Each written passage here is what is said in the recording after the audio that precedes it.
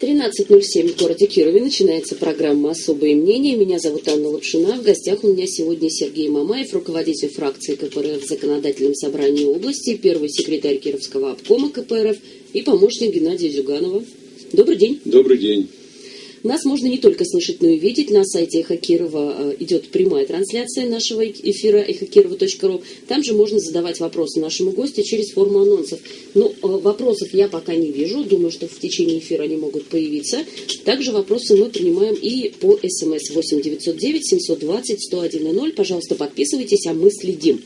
У нас, Сергей Павлинович, с вами довольно сложная ситуация, потому что, с одной стороны, скоро выборы, да, и совсем обойтись без вопросов по этой тематике мы не сможем. С другой стороны, мы постараемся соблюдать закон, не агитировать, не антиагитировать, да, за какие-либо политические силы. Вот договариваемся, да, на берегу. Безусловно. Постараемся оставаться в рамках особого мнения депутата да. законодательного да, да, собрания да. Сергея да. Мамаева, да, и руководителя Кировского обкома КПРФ. И я еще должна обратить внимание и избиркома, и коллег ваших по законодательному собранию, что у нас студия довольно открытая, мы ждем всех представителей всех политических сил. Насколько я понимаю, идут переговоры, и Единую Россию мы тоже в нашей студии ждем, поэтому, ну вот я прошу не, не обижаться, баланс мы будем соблюдать. Вот, есть одна вещь, которую я хотела выяснить в самом начале. А, до выборов в городскую думу остается менее двух месяцев. А, и почему-то а, в этот раз, в отличие от предыдущих лет там, и предыдущих выборов, нет такой активной кампании по подготовке, там, да, популяризации работы наблюдателем на выборах. Мы понимаем, что соблюдение закона, да, это такая штука, вот, ну вот надо, чтобы кто-то посторонний все-таки следил, иногда увлекаются политические партии. Что у вас с этим? Ну, э, это, естественно, я бы так сказал, сегодня повестка дня, выборная кампания объявлена на территории Кировской области. Естественно, не зарегистрированный кандидат, хочу оговориться, что не имеет права агитировать и, ну, как говорится, имеет право, я выдвинутый, но угу. не так сегодня э, э, широко и обширно, пока я буду не зарегистрирован. Это во-первых. Во-вторых, то, что касается сегодня системы наблюдателей, то мы к этому готовим людей. И я думаю, что в этом году мы постараемся сделать все возможное, даже невозможное э, в отношении наблюдателей, чтобы они были подготовлены и не просто сидели и там командовали э, э, этими наблюдателями участковые комиссии, территориальные комиссии и так далее, потому что это определенный контроль. Мы должны поставить барьер э, той фальсификации, которая, в общем-то, на протяжении многих выборных кампаний присутствовала. Вот. Поэтому мы готовим сейчас наблюдателей, они будут не только с нашего региона, естественно. Почему? Потому что сегодня, да, сегодня зависимость людей перед властью в определенной степени имеет место быть, и это нельзя э, сбрасывать с счетов, поэтому мы сегодня думаем над тем вариантом, чтобы э, наблюдатели были, э, так сказать, не местного, не, ну, не только местные люди. Не да, только. Да, да. И, или исключительно не кировские. Ну, и исключать мы не можем всех, как говорится. Есть у нас достаточно много принципиальных людей, которые э, э, не страшатся того прессинга административного, который, в общем-то, проявляет во время э, дня голосования. А на наблюдателей тоже давят? Я думала, только... Безусловно, я думала, безусловно, как не давят? Не только на кандидатов давят, но и на наблюдателей. Поэтому э, э, это э, целый, по сути дела, огромная работа, которую мы изначально уже начали, даже до объявления выборов, вести по наблюдению. Но я так понимаю, ведь там, наверное, есть ребята, там, я не знаю, взрослые люди, да, и молодые ребята, а, кто работает давно уже, да, вот в этом качестве. Ну, есть, есть наверное, такие, есть, есть да. Много ли их? Да, есть, но все равно э, есть определенные проблемы потому что я еще раз хочу подчеркнуть, что происходит административное давление, и вот тот, э, без, почему э, административное давление, потому что у нас сегодня э, руководители участковых комиссий, территориальных комиссий, это в основном, не в основном, а практически все работники администрации, то есть муниципальных образований. Поэтому они используют те, тот ресурс, который, э, за который им платят деньги, то есть так называемый административный ресурс. Если бы сегодня был, были э, председатели, секретари из э, политических партий, так сказать, представленных ну, оппозиционных, да, сбалансированность была, тогда бы мы э, могли говорить о том, что да, действительно выборы не, смож, не смогут э, та или иная партия сфальсифицировать сегодня. Почему? Потому что ну, и закон это дело в первую очередь не позволяет. Во-вторых, люди бы чувствовали вот эту а, ответственность, а там ответственность определенная есть, потому что мы сталкивались э, с многими, э, во многих избирательных кампаниях, где э, фальсифицировали выборы, ну, далеко за примером, что ходить, даже в Кировской области э, на прошлых выборах э, был... На прошлых выборах куда? Давайте уточним. На прошлых выборах в Государственную Думу, законодательное собрание. Вот, э, в Слободском районе пример у нас э, такой был яркий, где э, наш наблюдатель, по сути дела, был закрыт в другую комнату и где-то до пяти часов утра его держали. Конечно. А вот. Они переписывали протоколы. потом? А мы Жаловались? Безусловно. Так, какая ну, была а реакция? вот именно там. А, то, то есть вообще... А, Знаете, как говорят, была да, тишина в квартире. Или, или вообще не ответили? Ну, ответили, что, так сказать, в мягком варианте, так ответили, как они научились отвечать. И простым гражданам, в том числе, в общем-то, политическим партиям. Сергей Павлович, так вот, ну, мне тогда кажется, я не знаю, закроете ли вы все, все абсолютно участки избирательные своими наблюдателями, но, наверное, вам надо как-то кооперироваться с другими политическими силами. Безусловно. Сегодня у нас э, в этом направлении практически э, подписали 24 партии. Угу. Это и, и не только, как говорится, парламентские, но и непарламентские партии по этому вопросу. Это на уровне Кировской области они На подписали? уровне Кировской области. Так. Вот. И в первую это какой-то это... меморандум, а не нападение, вот насколько я понимаю. Ну, это меморандум, это другое. То, что э, сегодня предлагает Единая Россия, я считаю, что мы этот вопрос э, тоже сегодня обсудим, это меморандум совершенно другой. А вот то, что касательно э, контроля на избирательных участках, это, так сказать, тот вопрос, который мы сейчас с вами угу. обсуждаем. Я это имею в виду. Так. Вот. Поэтому контроль мы будем осуществлять перекрестный э, с политическими партиями, те, которые сегодня э, будут представить, э, вернее, ну да, представить своих кандидатов на выборы в городскую думу, угу. ну и те э, поселенческие э, э районы, где э, пройдут выборы 10 сентября. Угу. Вот. Поэтому, да, мы сейчас взаимодействие это, в этом направлении у нас неплохое. Вот, я думаю, что мы обеспечим и не только, так сказать, собственными наблюдателями, но и э, другими политическими партиями, так как все партии представляют наблюдателей. Но еще раз хочу подчеркнуть, что мы не позволим сегодня командовать наблюдателем согласно закону, который, э, в общем-то, предписывает наблюдателю не сидеть как статисту э, там на скамейке и наблюдать, что происходит. Он ничего не увидит он должен смотреть и список, когда подходит э, гражданин э, голосовать, может быть, там уже за него проголосовали, или же, как говорится, какую он фамилию ставит и расписываться. Угу. Это тоже должен он смотреть, поэтому э, и на, тогда, когда идет подсчет голосов, обязательно, если даже будут КАИБы, то закон сегодня предусматривает пересчет, как говорится, ручной. Вот, поэтому наблюдатели в этом плане будут работать. Не только там наблюдатели, но и члены с совещательным голосом, угу. члены с решающим голосом комиссии на территории Кировской области. Конечно, угу. от э, нашей, полити... Э, вернее, партии, от других политических партий, в том числе и от Единой России.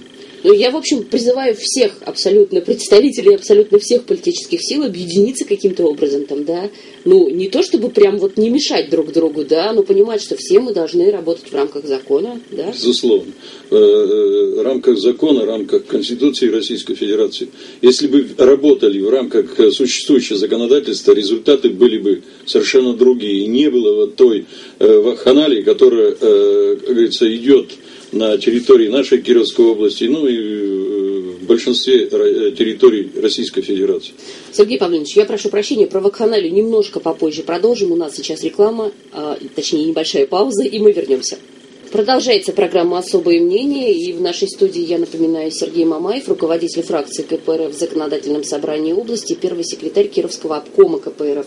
Сергей Павлович, в перерыве говорили как раз про меморандум, вы меня поправили в тот момент, когда мы с вами разговаривали про некое соглашение между оппозиционными партиями, э, есть э, желание, стремление Единой России подписать некий документ, меморандум, да, о, не знаю, там, о честных выборах в Кировской области? Есть такой документ, вчера он был и нам э, представлен, то есть инициатива Единой России, но, к сожалению, Единая Россия много раз пыталась, так сказать, такие меморандумы подписывали, но в то же время нарушение существующего законодательства всегда шло от этой политической партии, хотя там есть здравый смысл в, этих, э, в этом меморандуме, есть неплохие, правильные, так сказать, предложения, если бы они Э, все политические партии сегодня, в первую очередь правящая партия, о чем мы говорили выше, она э, соблюла этот меморандум. Я обеими руками бы его, так сказать, за него и подписал. Но, к, сожалению, к сожалению, пока есть вопросы. Если мы завтра их снимем, значит, э, этот меморандум э, наша политическая партия, Компартия Российской Федерации, подпишет. Так, а вы завтра его обсуждаете в Мы завтра обсуждаем, да, и будет официально, я считаю, что подписание. Э, так как четыре фракции представлены в законодательном собрании, в основном э, четыре политические партии, это ведущие, я бы так сказал. Ну, самые крупные, скажем. Да, Российской Федерации и, и Кировской области. Вот, вот этот вопрос будем завтра обсуждать. Хотя уже сделал политическое заявление э, председатель партии «Единая Россия» господин Быков о данном меморандуме. Угу. Вот, но завтра будем обсуждать, или подписывать, или не подписывать. А вы как-то с коллегами вашими по оппозиции, то есть не из КПРФ, а из Справедливой России, из ЛДПР обсуждали уже вот возможность там подписания, не подписания, какие-то положения этого меморандума? Ну, я бы так Или сказал, на ходу мы обсуждали, но я думаю, что завтра вот э, в открытом таком формате встретимся все четыре партии и будем обсуждать, в общем-то, этот документ. Вот. Он, естественно, сегодня необходим с моей точки зрения, но э, как он будет выполняться, там ведь есть тоже в определенной степени и плюсы, и минусы. Вот. Тогда, когда э, на, начинает лить грязь та сторона, которая, в общем-то, подписала и является инициатором этого меморандума, и а говорит, что мы это не делали. Вы с документом к ним а, вы, а там много как? технологий сегодня существует, которые, в общем-то, дают возможность э, так называемой э, грязи, как они говорят, в кавычках. А, ну Поэтому... то есть это, это какие-то вот ну, совершенно там материалы печатные, Там технологии без политические, те, которые, конечно. А другие, а другие оппозиционные, например, партии не грешат такими вещами? Ну, я думаю, что есть совет политических партий, не парламентский. Угу. Он, он сегодня с нами подписал соответствующее соглашение, поэтому и я э, завтра в формате переговоров, и, как говорится, если мы договоримся и придем к консенсусу, то э, предложу, чтобы председатель именно вот не парламентских партий, объединений, угу. то же самое подписал данный меморандум. Ну, там возможность есть, так сказать, дополнить э, те э, пять пунктов, которые, да, да? Угу. да, пять пунктов, которые есть в данном меморандуме. Так, а мы можем эти пункты озвучить, или это слишком долго сейчас? Это слишком долго, слишком и, долго. как говорится, Хорошо, Сергей Павлович, по, по времени завтра во сколько это будет? Во сколько новостей-то ждать? Подпишите, не подпишите? Э, ну, по времени завтра еще я не располагаю, так сказать, Пока точным нет. временем на угу. завтра. Вот, поэтому я думаю, что ну, хорошо. вы, Держите в курсе. Вы, безусловно. Держите в курсе. Хорошо, еще одна тема, которую а, тоже а, применительно к выборам а, хотелось бы обсудить. А, вы говорите про то, что есть некое административное давление на а, наблюдателей и на кандидатов от КПРФ. То есть я, а, если верно вас понимаю, это от органов вот, ну, вот непосредственно власти на местах исходит. Безусловно, это да. от правительства э, Кировской области. Я могу Ого. привести вам яркий пример. Так. Например, у нас в списке был поставлен заместитель председателя Совета ветеранов Кировской области. Это мы сейчас говорим про э, список да, кандидатов. Да, да, да, да. Это э, кандидатом в депутаты Гордумы. Это Машкин Анатолий Владимирович. Ну, тут же его пригласил Бекетов и сказал, или же вы будете работать э, тем, кем вы работаете, или, так сказать, выбираете идти с Компартией, или, да так сказать, остаться сегодня на работе. Так. Вот. Поэтому товарищ Машкин остался на работе, но не стал участвовать в выборной кампании. Ну, таких примеров масса. И тут что, э, как говорят в народе, греха таить, э, давление – со стороны Подождите, данного... а избирком разве вот не вмешивается в такие вещи? Ведь а избирком, же... ну, понимаете, эта структура также, она сегодня подконтрольна исполнительной власти. Это моя точка зрения, тем более у нас передача называется «Особое мнение». Особое мнение, правильно.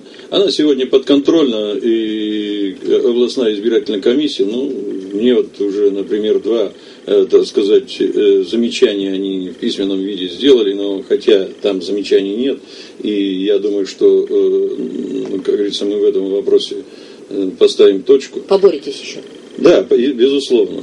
А тут, э, я уже вам сказал, административный ресурс представлен полностью во всех э, э участковых избирательных Скажите, комиссиях, территориальных и областной избирательной Скажите, комиссии. пожалуйста, а есть примеры вот такие, где ваш кандидат, может быть, не в Кирове, может быть, где-то вот в районах области, где вот он, несмотря на такое давление, сказал, да ладно, ну и фиг с ней с этой работой. Ну, да. Все равно есть, пойду на Есть даже, я могу сегодня э, отметить при так называемом муниципальном фильтре и поблагодарить даже членов партии «Единая Россия», что они э, не э, согласились, так сказать, с мнением э, руководства партии и поставили подписи за кандидата э, Компартии Российской Федерации. Давайте мы вот на этом немножечко приостановимся, потому что агитировать за вас как за кандидата, к сожалению, мы не можем. Нет, да, мы и не агитируем, здесь нет агитации. Но мы я, говорим. Я, да. Нет, ну мы том, говорим. Но, Единая Россия, Единая Россия молодцы. Мы же не говорим, вот да голосуйте за того, голосуйте не за говорим. этого. Правильно. Но я не это говорим. понимаю. Э, а сегодня областная избирательная комиссия обязана говорить, потому что повестка дня,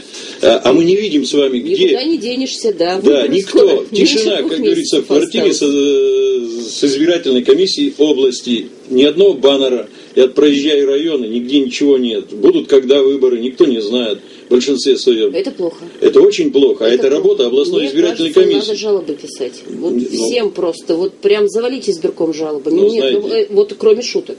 Я понимаю. Сейчас одна инстанция остается, это как в той песне э, из шансона «Жалобу Зюганову» только остается писать и некому больше. Нет, Сергей Павлович, все остальное... это же серьезные вещи. То есть, с одной стороны, мы все понимаем, да, что у нас порог явки отменен, и выборы все равно Конечно, будут опять человек придет, уже выборы будут состоявшимися. С другой стороны, мне кажется, областные власти и на уровне там, регионального правительства, и на, на уровне районов должны быть заинтересованы в том, чтобы цифры по явке, по крайней Я мере, с вами полностью были согласен. более-менее приличными. Анна, не 5, Анна дорогая, я с вами полностью согласен. Да. Если бы сегодня власть была заинтересована в активной явке, угу. а тем не менее в легитимности этой власти, тогда да, тогда надо уже давно работать. То есть с того момента, когда законодательное собрание объявило, в общем-то, э, вы, выборы в Кировской области и городская дума, ну и те думы, которые, в общем-то, сегодня на территориях муниципальных образований будут проходить выборы. Поэтому, естественно, Э, или же легитимность власти будет 30%, например, пришло на выборы, да, 30 а 70, еще хорошо. Да, а 70% не голосовали. А как тогда легитимность установить этой власти, если взять третью статью Конституции Российской Федерации, где основным источником власти, напоминаю всем радиослушателям и вам, Анна, дорогая. Я помню. Вот, Э, основным источником власти является многонациональный народ. Как народ осуществляет свою власть? Через исполнительные и законодательные органы власти.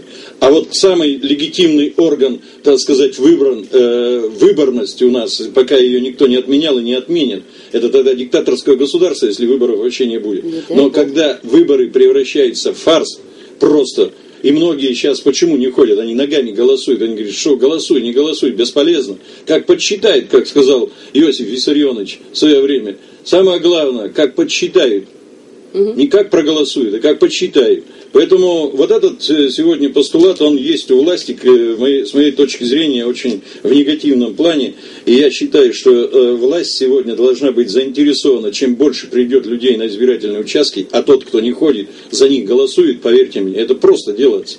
Мы сейчас можем посетить э, целую передачу той, так сказать, вакханалии, которая была ну, э, на, про, на прошлых выборах. Мы это сделаем. У нас, да, у нас просто тем с вами очень много впереди. Мы давайте избирателям нашим напомним, что выборы в Кировской области будут. Они будут Безусловно. 10 сентября. Безусловно. И на участки сентября. приходить нужно Конечно. всем обязательно. Обязательно надо. Выбор. Да. Хорошо. Это гражданский долг, я бы так сказал, каждого гражданина. Конечно. И он должен э, прийти и проголосовать. Хорошо. Сергей Павлович, правда, вот мало времени. Говорила бы долго, но мало времени. У нас еще несколько тем. А, ремонт дорог Кировской области. Ой, Ох, тема. вы нам сейчас рассказывали перед программой. Вы съездили сегодня специально, как я понимаю, на улицу Комсомольскую. Я нашим слушателям, кто не знает, а, должна сказать, улица Комсомольская на участке от железнодорожного вокзала до переезда, да, вот туда, в сторону выезда из города. А, кто, кто не был, я даже не знаю, я боюсь, Знаете, я, я боюсь отправлять туда людей на машинах с экскурсией. Вот, яма на яме на самом деле, ремонтировать ее будут, но К работам приступили еще в прошлую пятницу и положили на улице Комсомольской лежачих полицейских. Два полицейских, там, понимаете, между э, двумя полицейскими, там где-то примерно 12 э, метров угу. расстояния. И этот участок... Где, да, самый ровный участок, маленький, это примерно где-то э, метров 30 расстояния угу. хорошего. А все остальное, я бывал на танкодромах, бывал, так сказать, на многих полигонах э, и зарубежных, но я не видел там таких плохих дорог, как, допустим, улица Комсомольская, этот участок. А ведь ее неоднократно ремонтировали. Ну, и туда забивали деньги. Машины. Но почему же не могут, так сказать, сегодня сделать простое, а кана, а, э, как говорится, отвод воды сделать? То есть э, обочины поправить. А обочины выше сегодня, чем дорожное полотно то как эта улица никогда не будет, так сказать, содержаться правильно. И э, тем не менее уклоны, те, которые есть, э, в общем-то, э, должны быть, вернее, на данном участке дорог, их нет. То есть вода, чтобы стекала на а, обочины, э, я не понимаю, кто там ложит, и специалисты, не специалисты, но в то же время... Но там э, еще не приступили к ремонту пока. Ну, не приступили, зачем положили эти э, двух лежачих полицейских, которые, которые ну где там разгоняться? Там 30 метров, а остальное, так сказать, там ухабы. Там невозможно ехать. Я ехал сегодня, вот этот отрезок, по сути дела, там... Скорость сколько было? 10 э, километров. 10 километров. Да и то по ней так грохотало, что мама не горюй. Машина жалко. Да, жалко машин, но поток есть. Поток машин есть, потому что людям некуда деваться, они едут да, по этой дороге. А многие иногородние просто не знают это, этой, так сказать, развитой дороги, которая, в общем-то, не, не знаю, они приведут в соответствие или не приведут. Хотя э, тут тоже есть, э, с моей точки зрения, определенная коррупционная составляющая э, в том миллиарде, который выделил на, э, на дороге, так сказать, э, федеральный центр. Да, ну, Потому что там тоже э, проводили, э, а? Торги? Да, торги. Ну, вы прекрасно это знаете. Кто какие, так сказать, лоты представил, и сколько самые, лотов выиграла крупные, Москва самые сегодня. лоты выиграла да. Москва, насколько я помню. Да, да, и в Москве да, было больше всего да. претензий. По крайней мере, на первоначальном этапе. Не знаю, как сейчас. Не, но э, почему государственные структуры сегодня, которые есть, которые хотят работать, они не участвовали в этом э, процессе? Э, тот же Вятавтодор, к примеру. А сейчас его нанимают эти московские, так сказать, однодневки, которые, да, на субподрядно. Ну и, естественно, обговаривать, соответственно, э, так сказать, э, финансирование. Меньше, он получит меньше. Безусловно, безусловно. Я так для себя подсчитал, э, но это мое, еще раз говорю, Особое так сказать, мой подсчет, где-то порядка от миллиарда, 30% они хотят, так сказать, всего лишь э, э, потратить на благоустройство дорог города Кирова. Вот, это мое мнение, Они еще раз кто? подчеркиваю. Они это кто? Ну, кто исполнительная власть, и городская, и областная. А, а остальные деньги куда? Остальные деньги куда? Вопрос, большой знак вопроса. Сергей Павлович, вы же депутат законодательного собрания. Пишите, вы же можете запрос писать в соответствии. Я их массу уже пишу. Я, знаете, это само написал, еще напишу. Хорошо. Это не вопрос на власть, когда, э, вам просто пример привожу, когда исполнительная власть начинает отвечать по штатному расписанию, как говорится, совершенно абсурдные, э, слать ответы, то приходится подключать прокуратуру. То есть э, люди некомпетентные даже в ответе, они не секретный, э, я бы так сказал, материал, который, э, в общем-то, депутат имеет право запросить. Если даже для служебного пользования, то они ставьте гриф для служебного пользования. И каждый депутат это понимает, что это данный документ для служебного пользования. Если он ее где-то, э, так сказать, опубликует или доведет до широкой общественности, то вы можете претензии к данному депутату предъявить. Что ж вы боитесь? Почему в открытом доступе сегодня нет, э, э, как говорится, э, тех жалований, которые есть э, в администрации правительства Кировской области, у министров, у губернатора и так далее? Нет, подождите, они же отчитываются, жалования, вы доходы имеете в виду?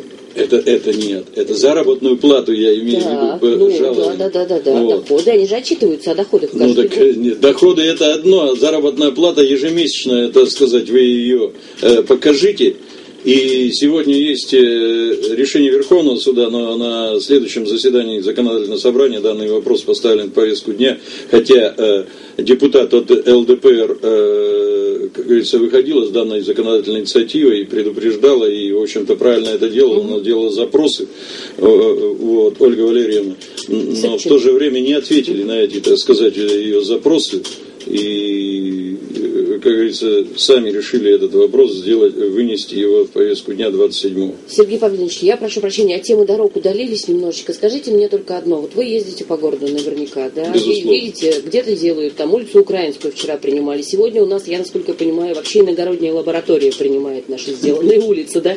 Результаты, думаю, будут через несколько дней там их проверок, может быть, там на следующей неделе. Нам важно успеть справиться. Вот как вы думаете, погода еще такая, успеет справиться, нет? Ну, я думаю, что успеет. Успеет. Потому что погода, она, э, как говорится, погодой, надо брать поправки на погоду, но в то же время надо рассчитывать силы.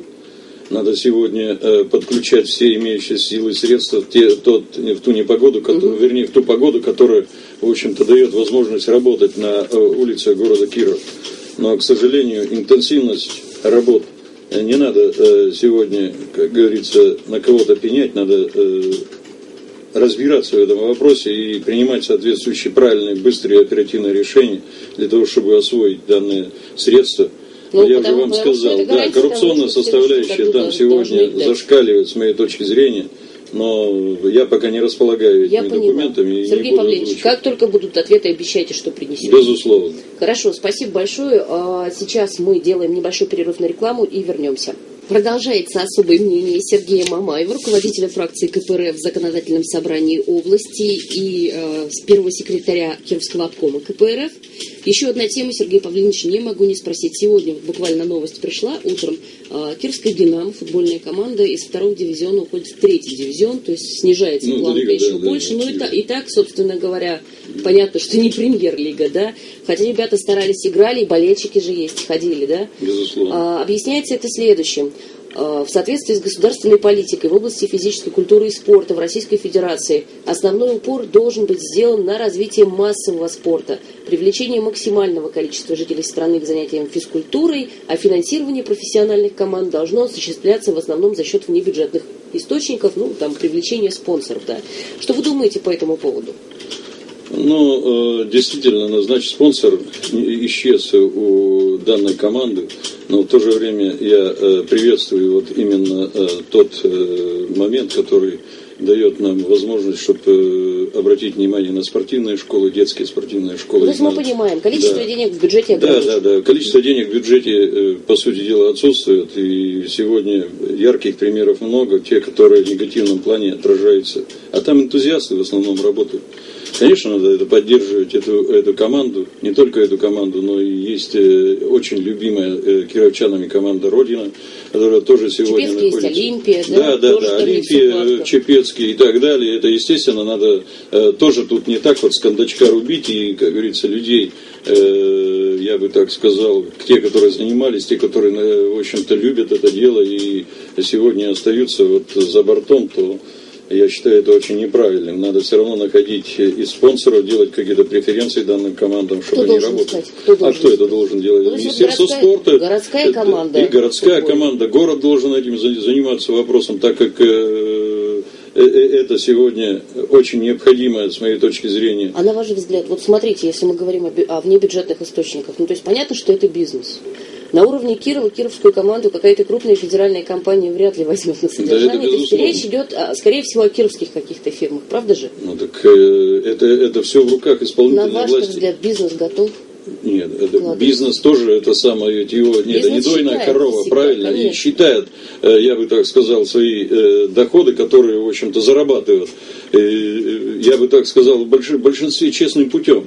Поэтому надо разговаривать, надо делать преференции а подождите, подождите, вот тут с преференциями, это знаете, опасно ведь. Вот тут сделаешь преференции, а потом бац, и в Лефортово. Почему бац, и в Лефортово? Ну, извините. Ну, ну, ну, тут надо все делать официально, согласно, так сказать, закона. Угу. И Российской Федерации, законодательства нашей Кировской области. есть, есть такие возможности. Документировать. Ну, конечно, угу. не только документировать, но и в то же время заключить договор, соответствующий с той или иной, э, так сказать, с, той, с тем или иным спонсором но это чтобы было не на бумаге, то есть преференции какие, я имею в виду и налоговые послабления, mm-hmm. чтобы человек понимал, что эти деньги идут, так сказать, э, на э, Не, ну содержание... Мы же, мы же понимаем, Сергей Павлович, если это э, в качестве налога не поступит, например, да, так этих денег лишатся, не знаю, там какие-то льготники, еще кто-то. Ну, зачем? Да, ну, вот да я, я так, я так не считаю сегодня. Почему? Потому что если бы климат налоговый был на территории Кировской области действительно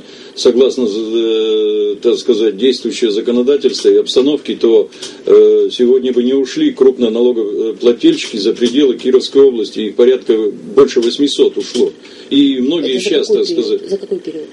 800 за какой период? А вот я последнюю цифру, это в прошлый, за прошлый период, как говорится, за такая прошлый... значилась цифра, да. Угу. Вот, поэтому и, а сегодня уже намного больше тех людей, которые, в общем-то, ушли и стали на налоговые учеты э, в других регионах Российской Федерации. А с учетом, я еще раз подчеркиваю, политики сегодня исполнительной власти, налоговой, ну, нельзя так себя вести. Надо с каждым сегодня садиться за стол переговоров и э, обсуждать и, и, и те проблемы, которые из-за этих проблем, из-за тех проблем, которые, в общем-то, э, люди э, имеют и ушли и стали на налоговый учет других регионов.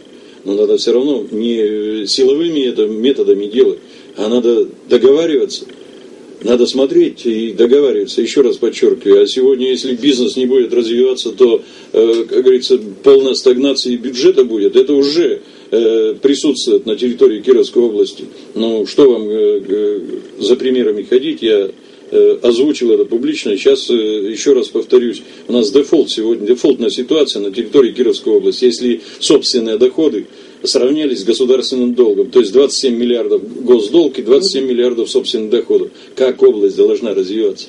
А где скрытые резервы в области? И почему сегодня, э, как говорится, не занимаются, но в течение года данный порядок, как элементарный сказал Игорь Владимирович, наведем. Где этот порядок? Я его не вижу. Я видел его, так сказать, он садился за стол переговоров только изначально с Киро-Чепецким химкомбинатом. Но ведь э, Неплохой пример. Неплохой? Да, но почему не продолжил дальше? Почему начал, так сказать, э, э, дело, но довел, не довел его до, до логического конца? Э, начинает, так сказать, совершенно другие вещи говорить, которые, ну, в общем-то... Много, много же сейчас, мне кажется, обязанностей свалилось. Да, ну, обязанностей всегда много. Меньше, цел, а целых четыре здания сегодня, целых четыре здания работает. Так ты доверяй людям и спрашивай в первую очередь. А когда человеку доверяешь и спрашиваешь с него, он будет работать. Он не будет думать о своем кармане и, как говорится, о той коррупции, которую сегодня проросли все органы власти на территории Кировской области.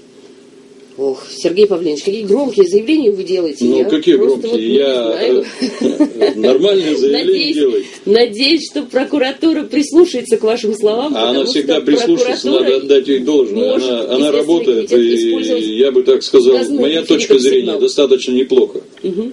Вот, не только прокуратура, но и другие силовые структуры, они работают. Но ведь, знаете, э, как говорится, за всем не уследишь, есть такое выражение. Согласна, вот. согласна. Хорошо, еще у нас остается буквально три минуты, и я вам просто выбор дам сейчас. Есть две у нас темы, которые мне хотелось бы с вами обсудить. Опрос э, Центра изучения общественного мнения по поводу страхов россиян. И предложение Минздрава совершенно чудесное запретить продажу а, спиртного по выходным. О чем, о чем хотите поговорить? А хоть о чем. Ну, ну хорошо. Вот мне тема со спиртным больше нравится. Все-таки тут да, у нас Кировская область в некотором смысле пионером была этого движения, да, по запрету каких-то э, таких вот торговых всяких штук вы знаете, когда идет запретная, э, э, как говорится, функции э, применяются на территории региона, до района или там сельсовета, по-старому а назовем. страны, скорее всего. Да, конечно, там всегда Если человек ищет наживу и начинает спекулировать тем или иным, так сказать, продуктом, который в определенной степени наложен хотя бы небольшой, но меморандум. Вот. Поэтому тут тоже палка, как говорят в народе, о двух концах, mm. и надо соизмерять эти вопросы. То, что касается ограничения там, продажи, ну, надо посмотреть сегодня, как говорится, по времени. Во-первых, во-вторых, надо принять, с моей точки зрения, закон э, по э, продаже э, спиртосодержащих. Вот этот момент надо сегодня упорядочить и узаконить. Так, простите, сейчас вот немножко не поняла, что вы имеете в виду. Ну, это, как в народе говорят, продают эти различные функции, а, которые это спиртосодержащие я называются. Да, вот. да, да, Они да, в каждом киоске их везде, так сказать, началась борьба. Я с вами согласен. Когда э, начальником УВД МВД был э, генерал Солодовников. Да, мы э, в этом направлении его поддерживали. И сегодня, так сказать, я э, полностью поддерживаю те действия, которые тогда э, э, начал руководство управления внутренних дел по Кировской области. Поэтому Сегодня... Сергей Павлович, хотя там были жалобы, от бизнеса были жалобы. Что не, ну от бизнеса, нет, я понимаю, жалобы были, но по каждой жалобе надо персонально разбираться, от кого эта жалоба идет и, как говорится, почему это происходит. А сегодня мы не должны травить наш народ. Хорошо, это пузырьки. А, официальный алкоголь легальный, а официальный легальный... акцизы. Как вы считаете, выходные продавать или нет? Почему не продавать? На ограниченное время. Идет народ. Да я считаю, что надо продавать. Я считаю, надо продавать на ограничение сделать по времени. Если ты выходные. Ну, а как какое? Ну, выходные, выходные. Да, выходные, допустим, э, ограничить по времени с 10 там, до 15 э, часов. Остальное время, э, как говорится, вечернее, там, тем более выходные дни, как говорится, оно дает основание трезвому образу жизни в этом направлении. Ну, с моей смотри, точки зрения. Смотрите, вы вот только что сказали, вот прямо в самом начале, когда начали тему обсуждать, да, все это повлечет за собой некий рост нелегальной торговли. Да, мы знаем прекрасно, ВКонтакте есть вот телефоны, кто хочет, может зайти и поискать, да, там в любое время дня и ночи тебе привезут. Ну, и тут тоже надо обеспечительные меры при, э, сделать законодательные в этом направлении. Э, не, не просто, что вот, э, как говорится, мы запретили и все. И люди начали, в общем-то, э, ну и сейчас есть эта продажа самогона, спиртосодержащих, там привозят в районах да, в особенности спирт и так далее. Да, да, покупается, да. стоит да. дома, а вечером продается. Да, ну, тут, два раза дороже. Конечно, этот вопрос, я еще раз подчеркиваю, что надо его надо упорядочить и наводить порядок. То есть обеспечительные меры сделать. Сергей что за каждую нелегальную продажу соответствующее наказание. Понятно. Вот. И ловить. И ловить, безусловно. Тут да? есть поле деятельности, и органов внутренних дел будет, так сказать, предоставлено, и другим структурам, которые, э, в общем-то, Загрузим есть. работой всех. Да, для всех хватит работы. Хорошо, вот последний вопрос. Ограничительные меры вводятся не первый год, как я уже сказала, да? На ваш взгляд, стали меньше пить в Кирове и в Кировской области или нет? С моей точки зрения, нет. А знаете, это в чем выражаться? Безработица. Если бы э, у нас каждый год шло, так сказать, увеличение рабочих мест, а э, не в сторону э, уменьшения этих рабочих мест, а тогда бы человек был занят, и он меньше обращал на это внимание. Это, во-первых. Во-вторых, ведь это психологически сегодня действует, когда человек без работы, не каждый может выдержать вот, э, вот это вот, состояние, когда нет источника дохода, правильно? И поэтому человек начинает искать э, возможность как бы себя э, ну, избавиться от проблемы. Избавиться от этой, от этой проблемы. И многие садят, садятся, как говорят в народе, на стакан.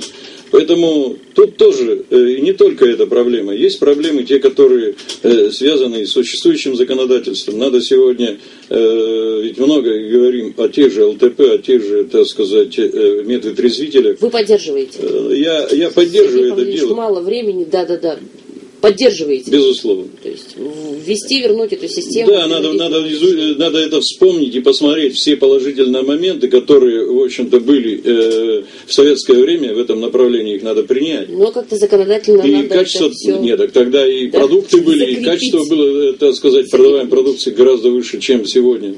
Хорошо. Я прошу прощения, вот честно говорила и, и, говор... и говорила, изделия, и да. говорила бы, но вот, к большому сожалению, время наше заканчивается. Я благодарю нашего гостя Сергея Мамаева, э, руководителя фракции КПРФ в Законодательном собрании Кировской области, первого секретаря Кировского обкома КПРФ Анна Лапшина. Прощаюсь с вами, Сергей Павленович. До Всего свидания. самого доброго. Спасибо.